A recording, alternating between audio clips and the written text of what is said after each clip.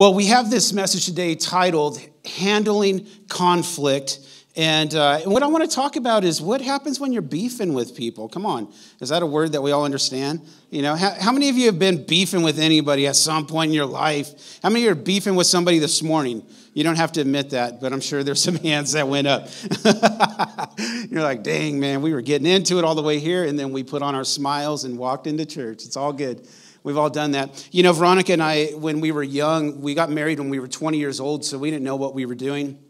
And uh, we were a little confused about life and trying to navigate, you know, the waters of relationship. And we found this verse in the Bible that we really tried to live by, and it was in Ephesians 4:26. If I can get that up here, do we have it? No, not here, but you guys got it up there. But Ephesians 4:26 says, "Be angry and do not sin. Do not let the sun go down on your anger." And I was thinking about this, you know, just the other day. We took that verse seriously, and uh, here was the issue: is that we didn't sleep very much.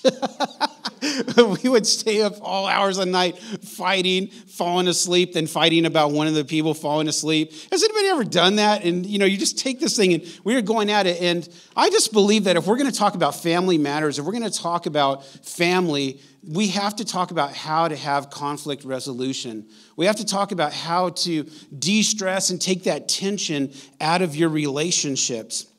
Because, see, tension's created when there's differences of opinion, and that could be about the marriage, that could be about finances, it could be about raising the kids. Teenagers, you can have tension with your friends because you're raised in two different homes and there's different belief systems. And so, difference of opinion really can create tension. Another thing is that it could be about unmet expectations.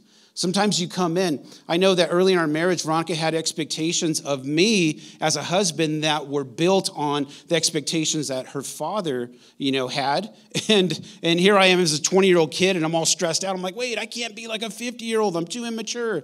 But she had expectations of what a husband would be like. And we had to talk and work through that. And there was tension because of that about not getting our way Come on, let's be real. Some of us are just really selfish and we like things done our way, and it creates tension in our relationships because we're trying to build with somebody, but we want them to be a part of what we're doing. We want them to be a part of, or to think like we think. We want them to have the same appetites and desires that we have because that makes us feel really comfortable. But what happens when they say, um, I want you to kind of start moving my way too?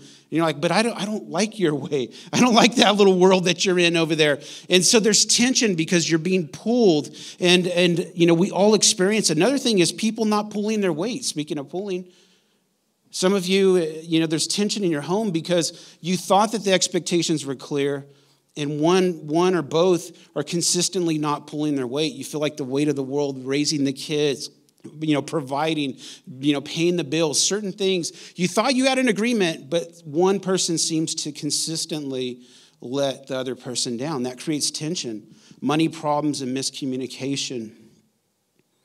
And so we want to talk about how do we deal with this tension today? How do we power through this and really make headway in our relationships?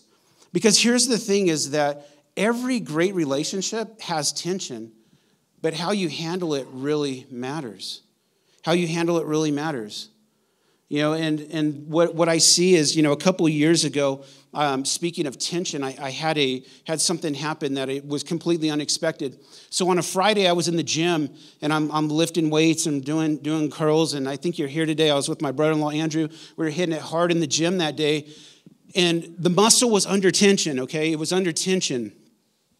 But on Sunday, a freak accident happened to me and nearly, well, not nearly, but it, it, tore the muscle, my whole right arm, tore almost every tendon off of my shoulder, dislocated my shoulder, and, uh, and it was extremely painful.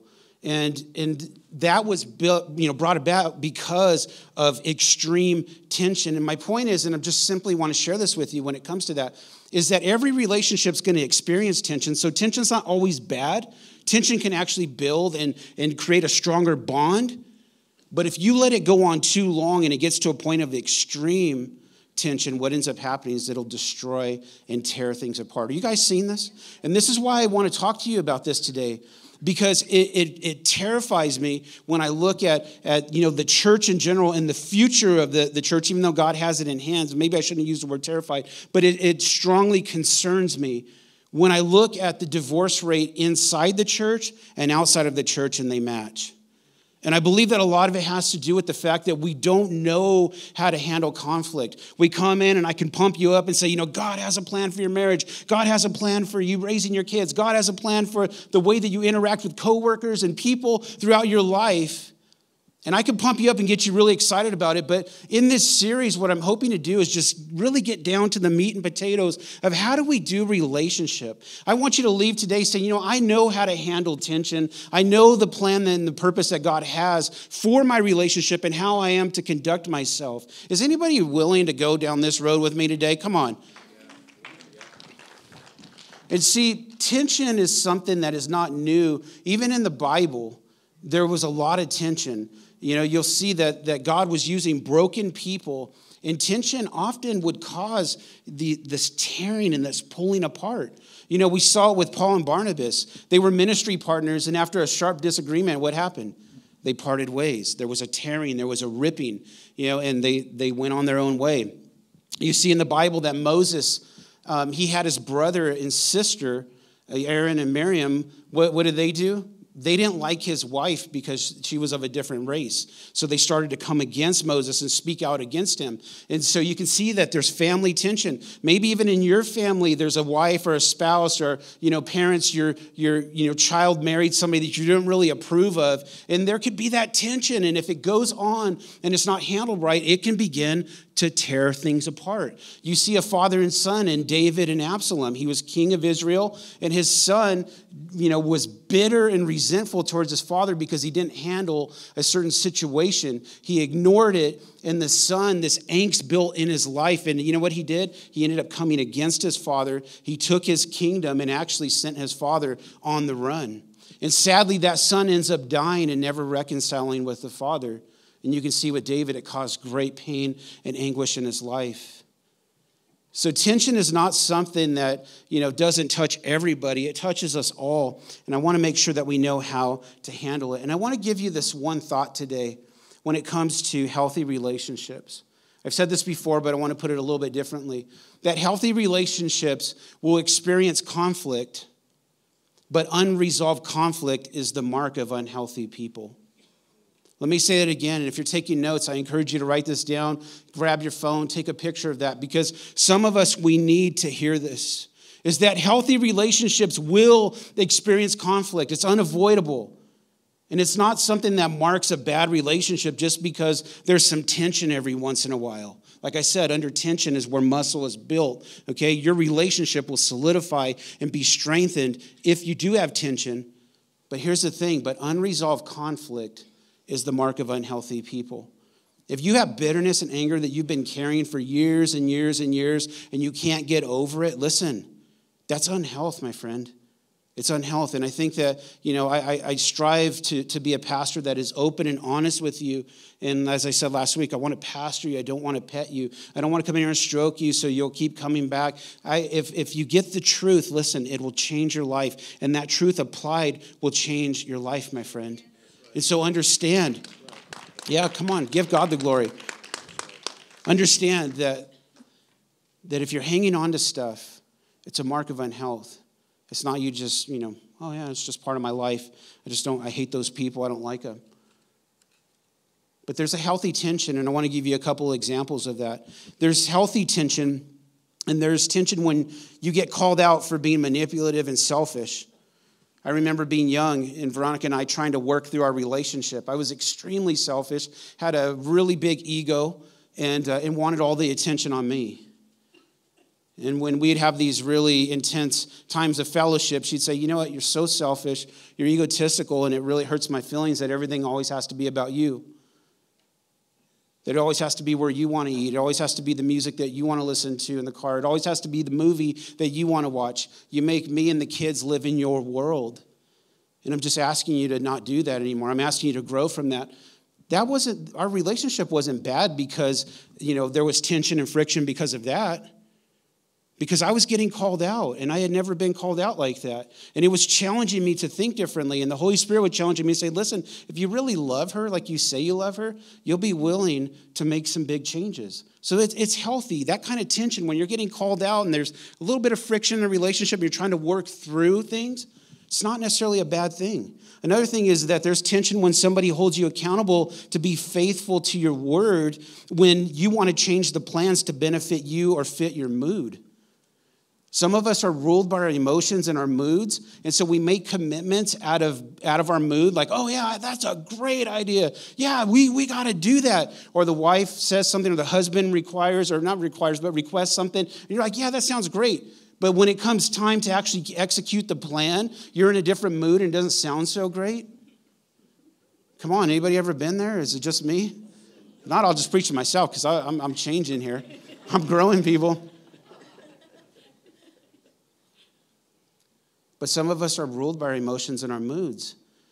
But when you get called out for it and you're held accountable for that and say, no, wait, wait, you, you said that you were going to be at Stephen's game.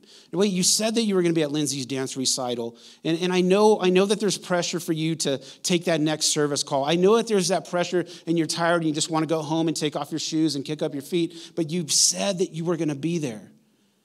And we would hold each other accountable so that way our, our moods and our, and our emotions weren't ruling our lives. And we both grew from that, right? So being under that tension, it strengthened our bond as a family because they knew that when dad said dad was going to do something, dad did what he said he was going to do. When mom said that she was going to come through, mom came through. But we would hold each other accountable. And you know what? Sometimes there was tension. Sometimes we would argue on the phone, and you know what? I'm really tired, and you don't know what kind of day I had. And she's like, But you still, you gave your word.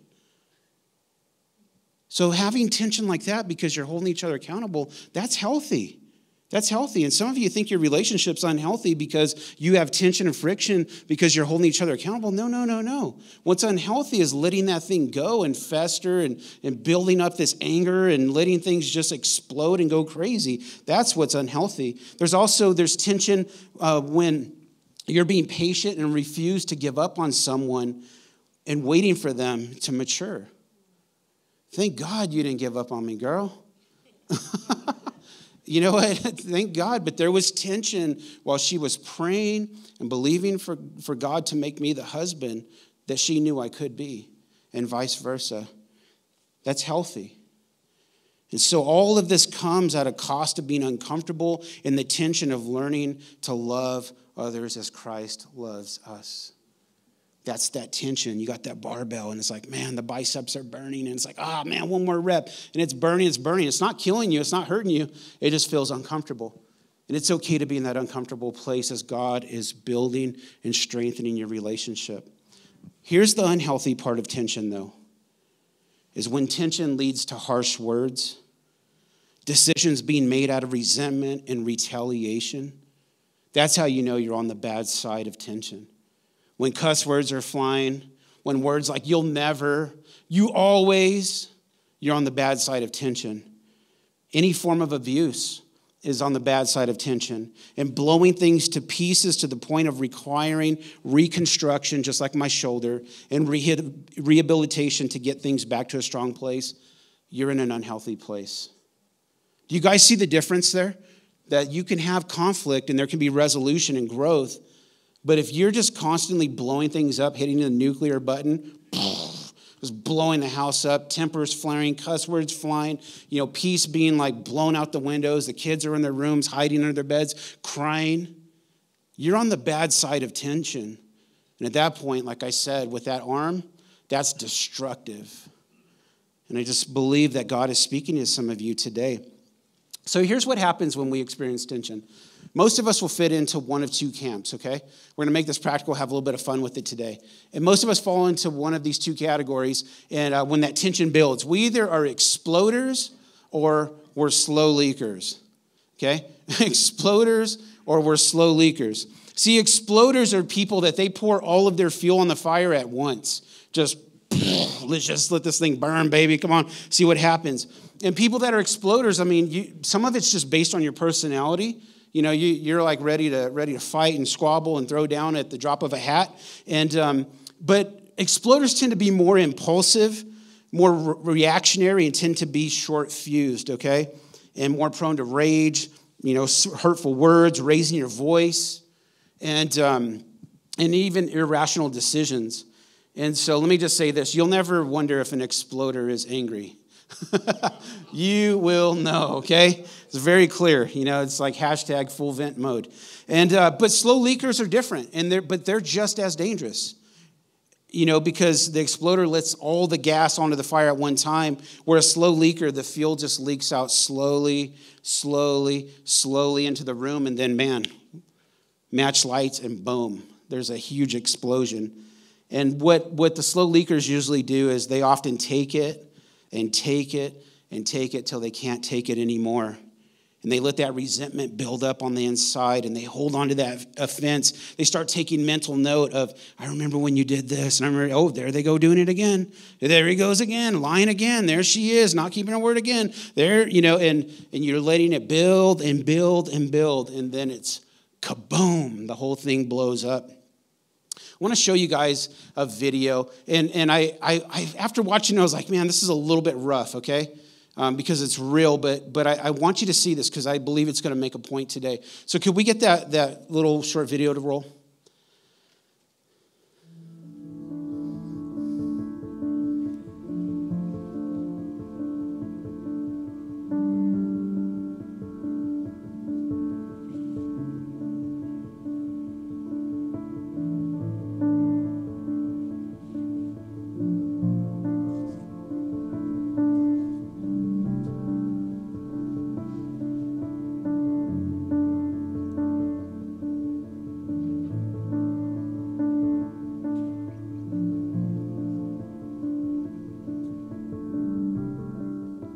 Pretty intense video, huh? And when you know the background on that, the guy had a diabetic coma, and that's why he flies into the gas station, you know, full speed, and just blows that whole thing up. What you don't know is the guy that was there rescuing him was an off-duty police officer, you know, peace officer.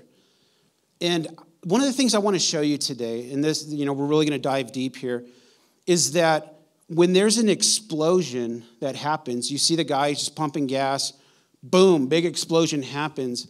You first you see him run, right? And then something happens with him being a peace officer, his training kicked in.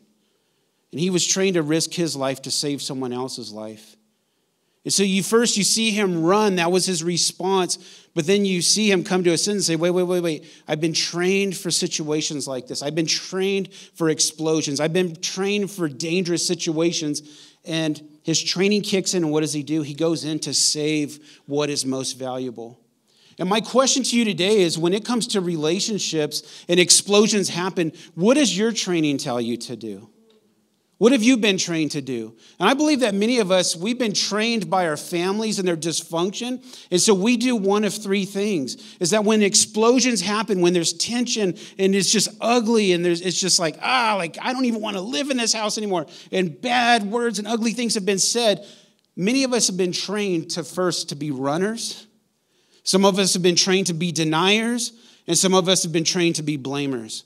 And it's interesting that that guy, what was his first impulse? I'm going to run and get away from the danger. So he cooks it, right? He's out of there. And many of us, that's the way that we handle it. Is that when something is not right, when something doesn't go our way, when our wife or husband or our children don't act the way that we expect them to, when a family member, a, a sister or a brother in law or a grandparent or somebody, when they offend you and it doesn't go your way, you're like, I got to get out of here. And you're a runner because you've been trained to run, so your training kicks in. Other people are deniers that there's an explosion. It's like the whole house is falling apart. There's mayhem, there's tension. The kids feel it, the dog feels it, even the goldfish feels the ripples in the water, man. Like stuff's going on, and you're like, what? No, there's no problem. Somebody calls you, man, how are you guys doing? How are your husband doing? Oh, we're fine. Everything's great. Spent the whole night crying myself to sleep, but man, we're great. And there's so many people too that you've been trained to stuff everything, to hide everything, and to deny that there's any problem. Because if we don't talk about it, it doesn't exist. And there's others that when the conflict comes and when there's that tension and there's that explosion happens, you immediately look to figure out who is at fault. Unfortunately, it's never us. so the guy runs from the explosion and he stands back at a distance and goes, Man, that guy shouldn't have been driving that fast. Dang, man, like, why did he come in here? He knew that this thing was an explosive situation. There was this gasoline here. Why is he here? In some of us, that's exactly what we do is that our pride will not allow us to see our part in the explosion whatsoever. And so we begin to look to somebody or look for somebody to blame. And I want to say today, church, that if we're going to get healthy and live God honoring lives and learn how to handle tension and conflict, some of you, you're going to have to put your track shoes away. you got to take the track shoes off and stop running. Some of you, you're going to have to take the blinders off your eyes. You're wearing super dark shades and take those things off and see it for what it really is. You know what? Yes, there is some tension. Yes, I do feel unfulfilled in this relationship. Yes, I do feel like I'm missing the mark as a parent. Yes, I feel like I'm not really that great of a friend. They call me and reach out to me, and I never reach back because I'm denying that there's actually tension and I'm really offended with them. And I want to pretend like I'm not, so it's just easier to stay away. Some of you, like I said, take the shoes off, take this off. And some of you need to get a holster for your finger, man. You, you got to you got to put that pointer finger away because you continually are blaming everybody else. It's like, I'm unhappy because of you, my wife. If you would change, I would be happy. I'm unhappy because of my kids. I'm unhappy because of my boss. I'm unhappy. And you're always pointing, but not willing to look here. And if we're going to get healthy, church, put the track shoes away, take those dark sunglasses off, and holster up that finger. Come on. Are you guys with me?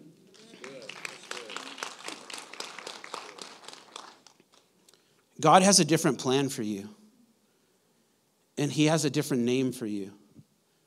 And some of you are saying, Well, Pastor, I do run, I struggle with denial. And um, I do blame people. But I want you to know that that's not who you are, it's just what you do.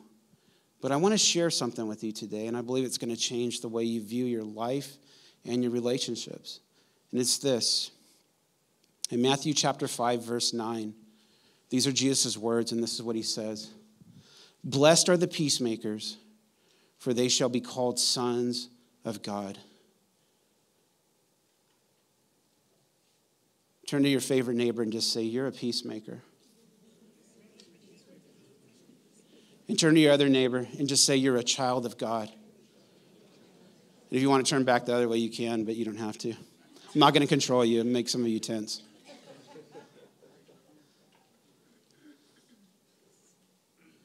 See, often we feel like we are, we are our issues. You're not your issues. You are who God says you are. And he calls you three things there. He calls you blessed, he calls you a peacemaker, and he calls you a child of God. And when you begin to put that identity on, things begin to change. And so, what I want to do is, I want to, with the time we have left, I want to talk to you today about being a peacemaker. About being a peacemaker, that you're a peacemaker. What, is it, what does it mean? You no longer need to be a blamer, a denier, or, or I can't remember the other one. You don't need to be any of that. yeah, a runner. Okay, I got the runner back. You don't need to be any of that. But what God's really called you to be as a peacemaker. And you know why this is hard for a lot of us, especially in our culture, is that we see the peacemakers as being weak. We see peacemakers as the people that lose. But if God tells you that you win, if He tells you that you're blessed, you're blessed. And we don't need to give in to that societal norm that for you to come into a situation to make peace instead of making war, you know, to tell you that you're weak or somehow you're inferior or you're a beta male or whatever you got going on in your head. But God wants you to be a peacemaker. He's called you a peacemaker. He's called you blessed, and He's called you a child of His. And so we need to work through this today. You're a peacemaker. And I, and I just, I, I wrote this thought down, and I don't want to mess it up, so I'm going to read it to you. You're a peacemaker and child of God who will experience the blessing of being at peace with God, with yourself, and with others. Come on, is that not good? That God wants you to be at peace with Him, with yourself, and with others. So I'm going to talk to you about how to do that. Because, see, like I said, peacemakers, we see it as being weak, or we even see it as being kind of a reactionary thing or kind of being, you know, subdued and very subtle. But you need to know that being a peacemaker is not passive. Peacemaking is not passive. It requires you often to be assertive and aggressive in the right areas. You know, it's interesting, you know, we probably have some, some of our law enforcement friends, and guys, we value you here um, at Hub City Church, and we honor you guys for the hard work that you do. And they're called peace officers, right? Officers of the peace.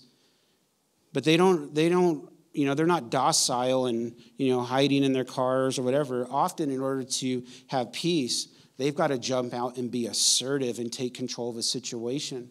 And I want you to know that being a peacemaker doesn't mean that you're on your heels. That often you're going to need to be assertive. You're going to have to do hard things. And that, that kind of, you know, before I get into my four points, there's just something that I felt I needed to share with you today when it comes to being a peacemaker. And this is something that's going to terrify some of you, eh, but you need to do it. And it's this thought that hard conversations aren't fun, but they aren't optional.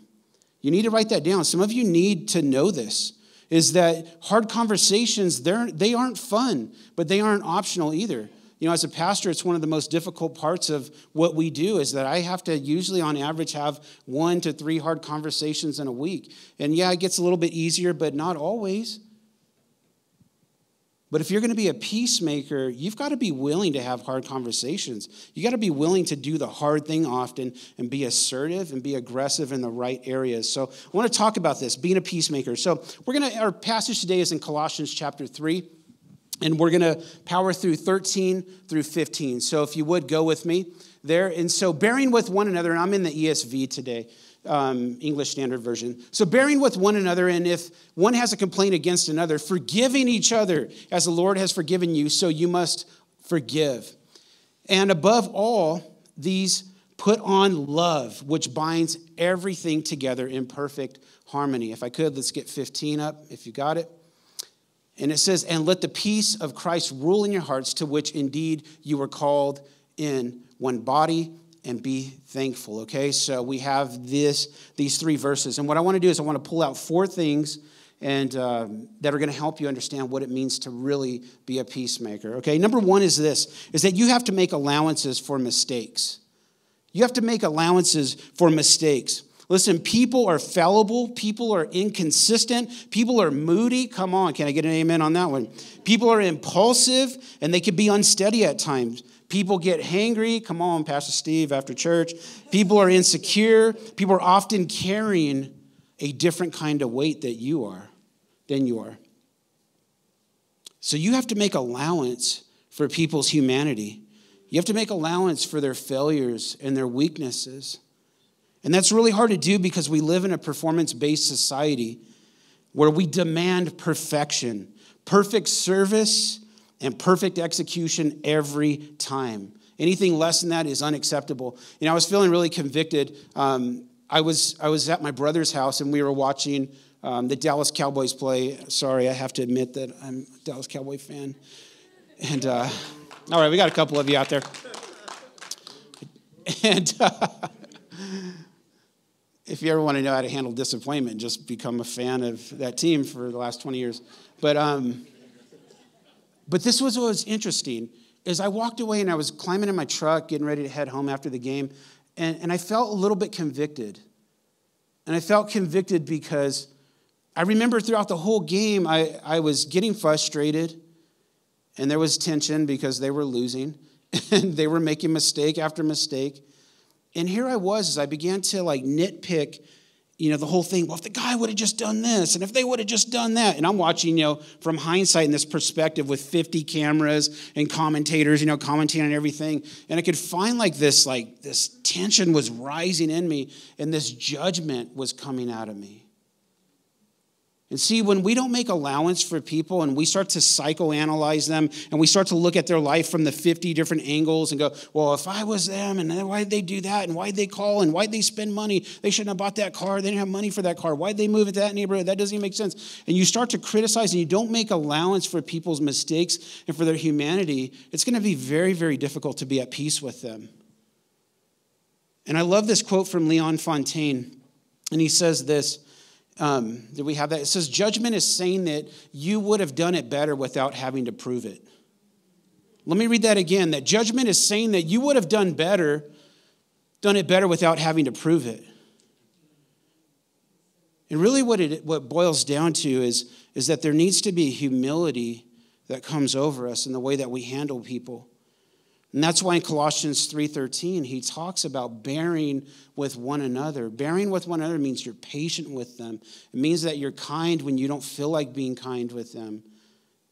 It means that you'll listen to them ramble on about some story you really don't care about and you don't want to hear.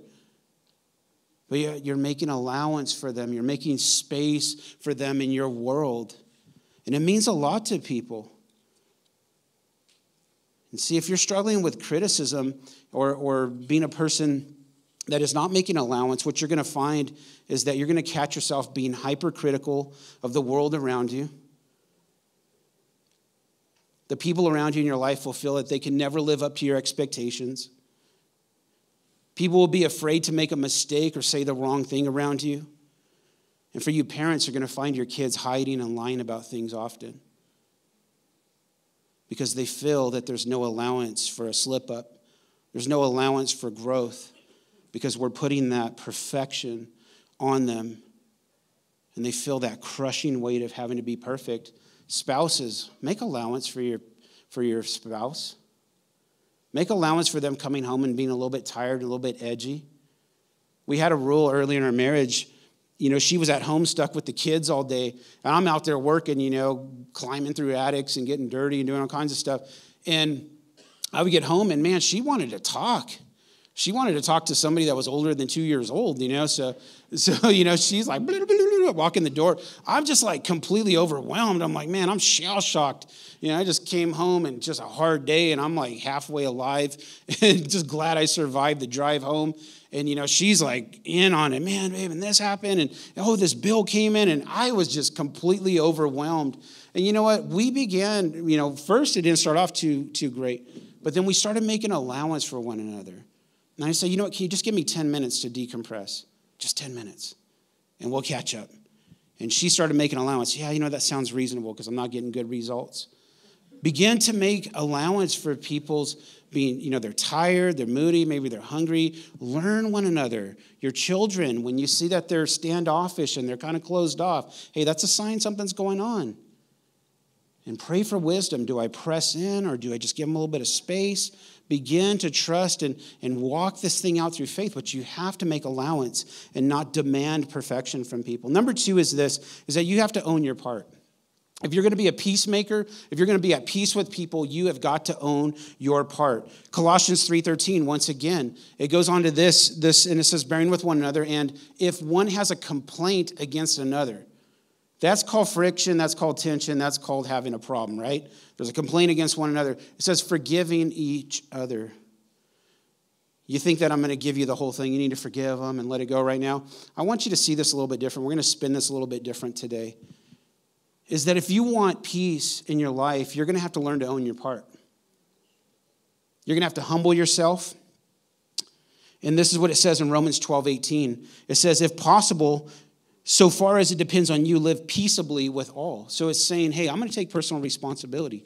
Paul's saying to you and I, he's saying, hey, as much as it depends on you, you live peaceably with everybody. And how do we do that? I can't, I can't make somebody forgive me, right? But I can own my part. I can own my part. And so you cannot be a peacemaker and, a, and prideful at the same time. So you're going to have to make a decision that, you know what? I'm going to be a peacemaker and I'm going to immediately own my part in this. But you know why it's hard for us out, at times? Because we like to play this thing called the percentage game. Remember, like all the blamers, and, and I'm not going to have you raise your hand, but I know we got some blamers in here. I was one of them. And what we like to do is that when something goes bad, when there's an explosion, we like to determine who was most at fault. So something went bad, and it's like, well, you were 70% wrong, and I was 30% wrong. So therefore, you need to apologize and do it thouest quickly, like now, you know. And, and sometimes we go, yeah, you know what? Yeah, it was my fault. And we determine, but but it can change a relationship, and you can actually become a great peacemaker. If what if they were wrong you know, 98%, and you were wrong 2%. But think of it this way I'm going to be responsible for 100% of my 2%. Do you guys see that? And that can begin to change a relationship. Because if you, if, if immediately, if you develop a culture within your house where you fight to be the first to forgive and the first to ask for forgiveness, think about how that can change it. I come through and, you know, I accidentally, you know, trip over something and break something that's really important to her. And she gets really upset because it was something, you know, hypothetically that her father gave her. And, you know, her father's not with us anymore. That would be deeply hurtful, right? Like, geez, man, you know, you broke this thing. And then immediately I can go, well, why'd you put that on the floor? Like, man, if you really valued that, like, you wouldn't just put it on the floor. But who knows? Maybe she set it there because she just had to do something else real quick and meant to get back to it and forgot.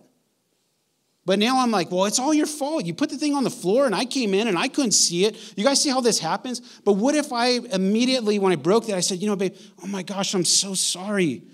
Man, would you forgive me? I, I was, I was not paying attention. And oh man, I know that that means so much to you. Would you please forgive me? Man, I would be hurt if that happened too. I completely understand. Would you forgive me? Can you see how that would diffuse the situation? And I'm not beating her up for leaving it on the floor because that's irrelevant. The problem is that I came through and I wasn't really paying attention, and accident or non accident, no accident, I broke something that was important to her. So I'm going to own that part. Think about how your relationships will begin to change if you take, you know, 100%, you know, responsibility for your part. It can change everything. Number three is that you have to put on love. Put on love. Colossians 3:14, it says, and above all, above all these, put on love, which binds everything together in perfect harmony. When you put something on, when I put this coat on today, it's an outward expression, right? When you put on your shoes, you put on your glasses, it's something that's visible, something that's seen. And if you want to be a peacemaker, you have to make your love visible to people. It has to be seen, it has to be heard. Sometimes some of the deepest wounds, you know, in dealing with, you know, the men that I've mentored throughout the last probably 18 to 20 years, most of them say the words that hurt the most from my father were not the ones he said, it was the ones that he didn't say. The wound that I carry is not the hugs that he gave me, it was the ones that he didn't give me. And if you want to be a peacemaker, you have got to put love on. And what I mean by that is that love has to be expressed. If you really love somebody, don't withhold your affection from them, don't withhold your words from them. If you think that they're amazing, you just call them up tomorrow and say, you know what? I've got no other intention but just simply tell you, I think you're awesome. Have a great day. Love you. I'll see you this weekend. Think about how much of a difference that makes. Somebody doesn't really want to fight with people that act that way. But when you withhold your love from somebody, and you become cold and distant when there's friction and maybe there's explosions, and you give them the silent treatment for three days, and you give them the cold shoulder, and you cut them out of your life, and you start avoiding them and finding every reason to not be around them. Some of you, you guys are, are professional like duckers, man. Like you're like amazing like spies. You got a beef with somebody, and you see them at Stater Brothers, and you're like, like the way you slide behind stuff, and you see them, oh, wait, I don't think they saw me. You know, even hiding your kids under the cart and stuff guys have become really, really good at that and, and avoiding any kind of contact, any kind of affection. And you just need to know today that you have got to put love on. You have to show it. You know, I was watching this show one time, blew me away. Um, I love watching those nature shows. I don't know if it's just that guy's voice where he talks in that like Australian accent. I'm like, dude, that guy's so cool, man. And he was he was showing this, I don't know if you call them a tribe or whatever, of elephants. Would it be a herd? Somebody? Yeah. Yeah, this herd of elephants. And they were disciplining this little rascal. There was a little baby, and he was acting obnoxious. He was over there and he kept using his, his trunk and he was pulling the tails of, of the moms. And so they, they got ticked off. And so what they did is, is they like all like stood like in a, in a line and kind of like a circle, and the mom started chasing him. and ran him. And of course, he's all clumsy and he falls over in this ditch and he's laying there. And then she goes back and they took this stance and they were all like staring this little like chunky thing down, you know, like you dare come to us. And he would try to come back to him and she would chase him again. And after a while, he sat over there and he, you could see he was sad. And then there came this point in the show where she goes over there and lovingly like rubs him with his trunk and welcomes him back into the group. And then you see all these big elephants. They're they're stroking him with their trunks and they're welcoming him back in. And I was just thinking about that. What happens when there's mistakes that are made and explosions happen in our family and there's falling out with people and we don't know how to show our affection? It leaves too much room for disconnect and division. And you'd be amazed at how much it would mean for you, parents, listen to me. Having raised two teenagers and our kids being gone from our home now, sometimes like it's quiet and it's sad. You know, and I love my baby girl, man, and we have a great time together, but sometimes they're, they're gone and it's quiet in the house. Or before, like, oh my gosh, can we just have some silence? Could we not listen to that same song over and over? You know, can we not watch Narnia for the 3,000th time or whatever they're into?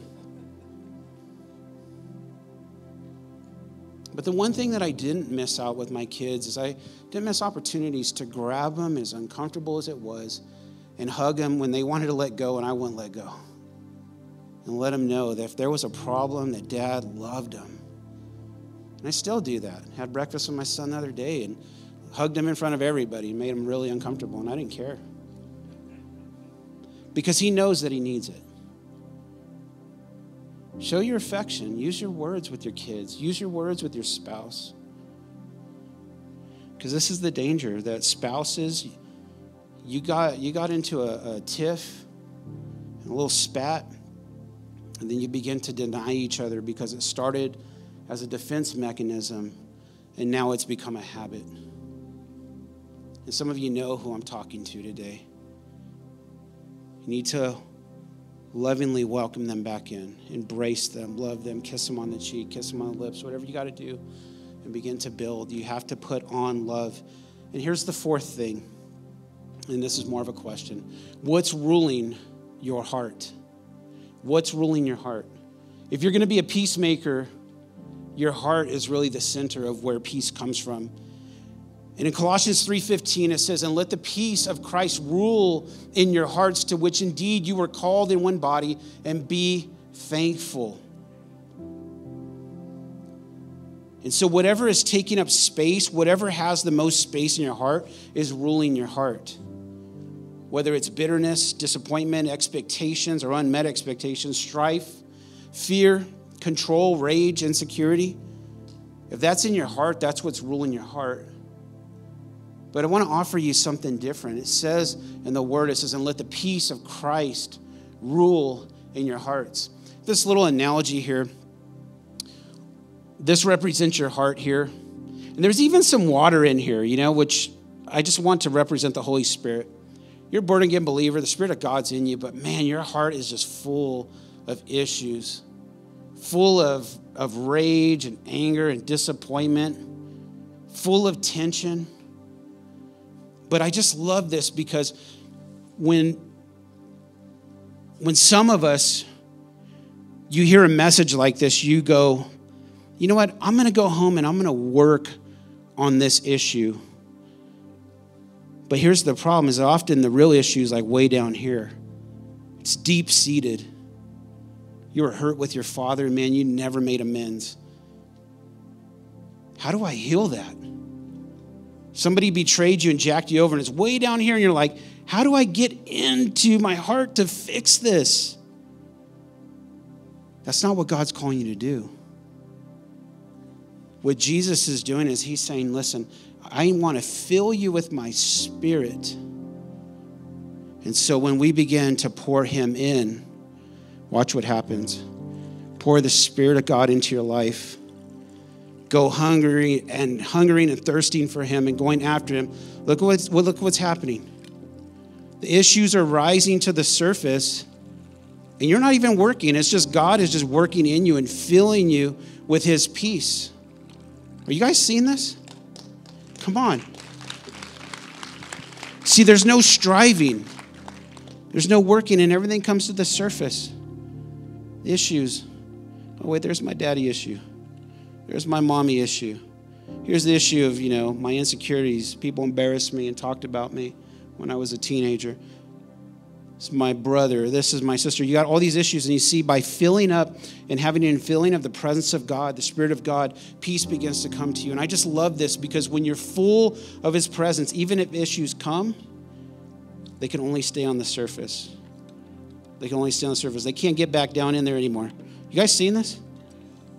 And this is why we pursue the presence of God. We believe Him to fill us up with His peace.